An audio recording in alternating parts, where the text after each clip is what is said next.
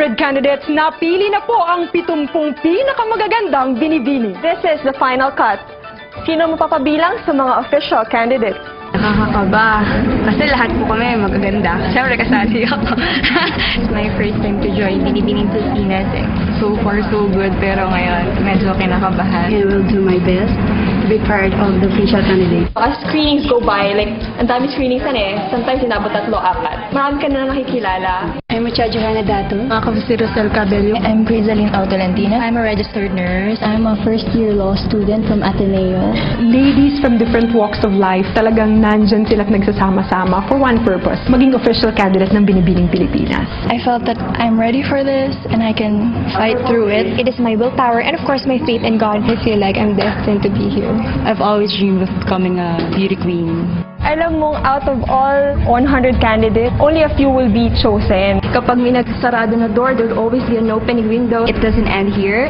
There are other opportunities out there. Yung 50 official candidates, dahil napili na sila, simula pa lang to ng journey nyo. Hindi mo pa masasabi na panalo ka na kaagad. Doon, titingnan nila kung sino yung karapat dapat koronahan. Congratulations to all of you. You continue getting um, closer to the international crowns and prove yourself every day. But be yourself. Thank you so much. two universe and three international crowns. That's five in five decades. Sa taong ito, in our sixth decade, isa kaya sa unang batch ng mga gold binibinis ang mag-uuwi ng ating ika-anim na corona?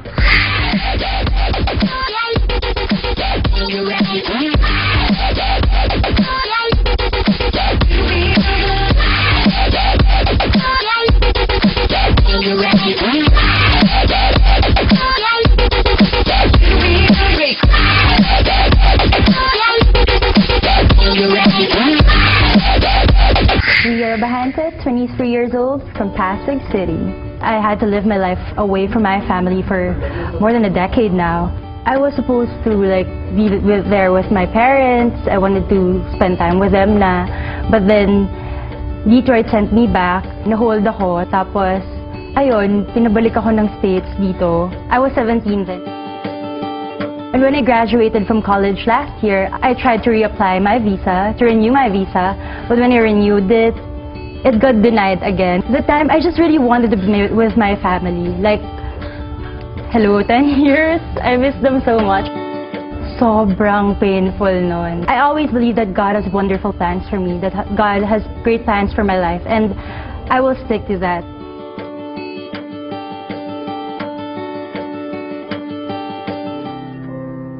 Bensel Bianzon, 23, Iloilo City.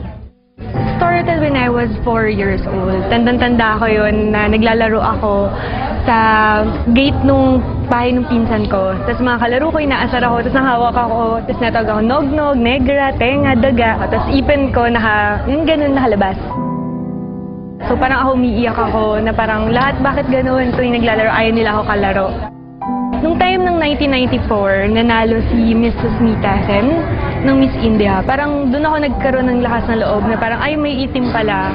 May napapanalo, may napapala. Tapos parang sabi ko, someday gusto ko maging katulad niya. Na sa balang araw, sabihin ko sa mga kalaro ko, titingaliin niyo rin ako. Parang ginamit ko yon as my motivation para ibangon, ipakita na kaya ko kahit naasar niyo ako nung bata. Paglakit, matutupad ko yung pangarap ko.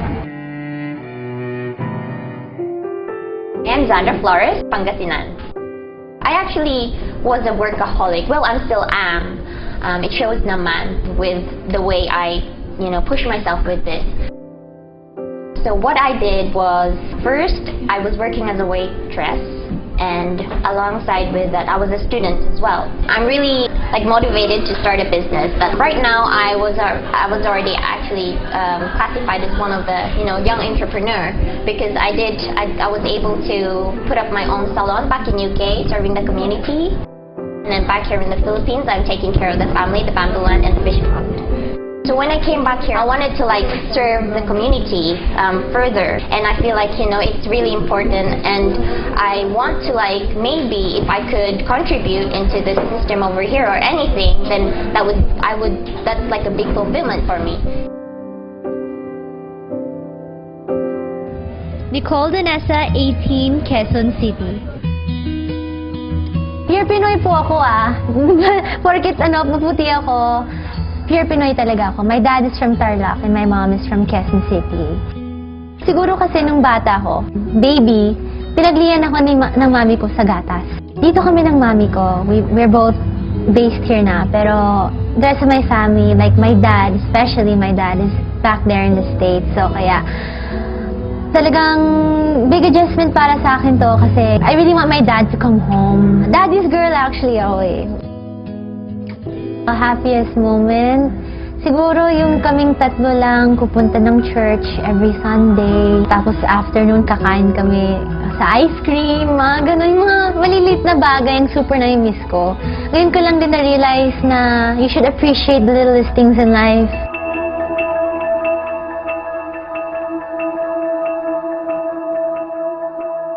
Maria Gloria Mustones, 23, representing the province of Antique. Last time I cried deeply was because of my father, because they diagnosed cancer, um, a prostate cancer. I was the uh, one actually bringing my father to chemotherapy. It was really hard for me to watch my father go inside the hospital. I felt like I was the one who was carrying also my family in my shoulders due to the fact that my mother is so emotional of this stuff. Basically, I would cry only once and then suck it up and then poise myself as a woman. He is a supportive father and he always reminds me, you know, always keep God close to your heart, whatever it is that you're doing. You have to really show a good example. Hi, I'm Yvette Chantal Turalba Mildenberger, 19, from Legazpi City, Albay Province. Yun, mukha daw akong suplada nung una, mataray, and pero hindi na na, ano na, medyo shy ako. I'm a shy person, mahinhin ako. So, I'm trying to change that. I'm coming out of my shell. I'm an animal advocate. I support the PETA, or the People for Ethical Treatment of Animals. I have four dogs, especially two pit bulls. Although pit bulls are very strong and aggressive, but somehow I can see something different in them and yun, I, I love dogs. I grew up with like 20 rabbits, a guinea pig, with turkeys, with chicken, with uh, dogs, and I'm an only child, so my best friends are really animals.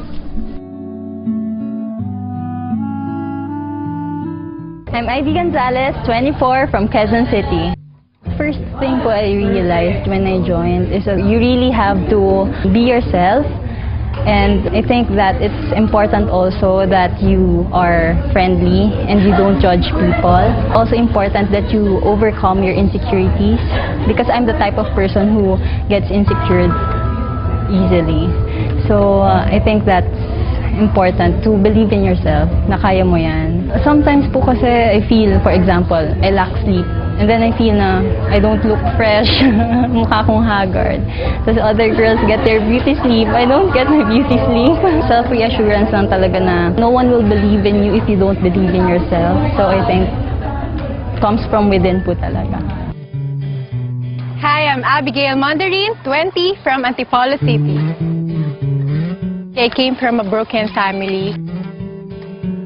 When I was, I think, two years old, nag-separate yung parents ko. Binuhay ako ng mom ko simula two years old until now.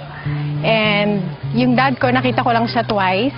And I know naman kung nasan siya ngayon. He knows kung nasan ako ngayon. Alam niya yung update sa akin, but he never uh, asked na kamusta na ako or anything else. Mahal ko na yung stepdad ko ngayon kasi sobrang ano siya eh, sobrang supportive kasi siya. Sorry ah. Supportive siya even though hindi, hindi ako galing sa kanya. At first, syempre, nahihiya talaga ako. So parang nung nag-aaral ako, ang mindset ko, I need to do this kasi sinusuportahan ako ng stepdad ko na hindi naman niya responsibility, di ba? So ayun po, stepdad ko talaga yung nag-support sa akin. Sobrang supportive talaga, kaya mahal na mahal ko yun eh. I'm Catherine Ann Enriquez, 22 years old, from San Mateo, Rizal. Fan kami ng mom ko sa mga beauty contest eh. We always make it a point to watch it every time, every year. Since dream ko na maging beauty queen someday, and I love what I'm doing, I always give my best to what I do. This is my first pageant na sinalihan. I don't have that much experience on pageantry. Pero who knows, being a candidate already is a great achievement na in the future, pag pwede kong masabi sa anak ko na, oh, yung mom mo naging naging candidate, hopefully, kung makukuha man yung crown, well, it is another great achievement. I'm Ana Carmela Aquino, 22 years old from Taytay, Rizal. I came from a broken family. My dad is living in my grandmother's house while we are living with my mother kasi my mother is the one working for the family. My mother struggles a lot. Siya yung nag-provide sa amin ng lahat-lahat. She stands as a father and a mother to us. And still, whenever my dad comes back to us, tinatanggap namin siya. Still, we forgive him because we want him to have another chance. My mom is a perfect example of a real woman. If I will be a wife, I want to be my mom. For my mom, I think, dream ko na kapag pahinga na siya sa work, mabigyan siya ng magandang bahay, and to be with my dad. Because I know yun talaga yung gusto niya, mabuo ulit yung family namin. So until now, we are still hoping that that will come back.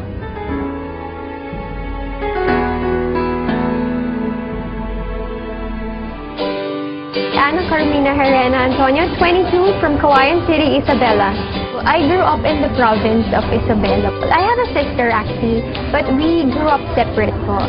Malaki na kami nung nagsama kami na tumira sa isang bahay. My mom was too weak to to take care of the both of us. So, yung isang sister ko, pumunta muna siya sa tita.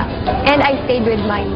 Every summer naman po, it's either I go here to Manila to have vacation and stay with her, or she goes to the province to stay with us. Malaking adjustment so because we both have different personalities. Kasi siya, lumaki siya sa Manila, ako laking probinsya. Iba yung kinalakihan niya, iba rin yung kinalakihan ko. Iba yung hobbies niya, iba yung hobbies ko. So, adjustment. The time that we spent together, pa konti-konti, habang lumalaki kami, naging okay kami.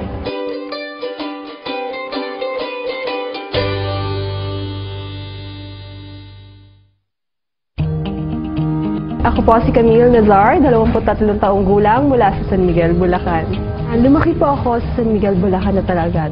Nag-start yung pagiging farmer ko nung siguro mga elementary ako ganyan. Tumutulong po ako sa tatay ko kasi sa halip na ipambayad namin sa trabahador na iba, kami na lang magkakapatid yung tulong-tulong na gumagawa ng sa bukid namin. Nandyan yung gigising kami ng maaga, ay medyo madilim-dilim pa. Kumbaga sa ano, walang babae, walang lalaki sa pagtatalim. So, kahit na mainit, go lang. Kaya, yung kulay ko ganito. Pag kumakain kami sabay-sabay sa bukid namin, kahit na hindi masarap ang ulam, sasabang-sab. Pinapangarap ko para sa kanila, mabigyan sila ng ah, magandang bahay, tapos sarili sasakyan, tapos hindi naman na sila bumabata. Gusto ko, puro pahinga na lang sila. Ladies, thank you. Thank you so much. And good luck. Good luck to all of you. Hey. All right. Coming up, mga kapamilya, it's my beauty and brains idol, Shamsi Supsup, with the next batch of Gold Bini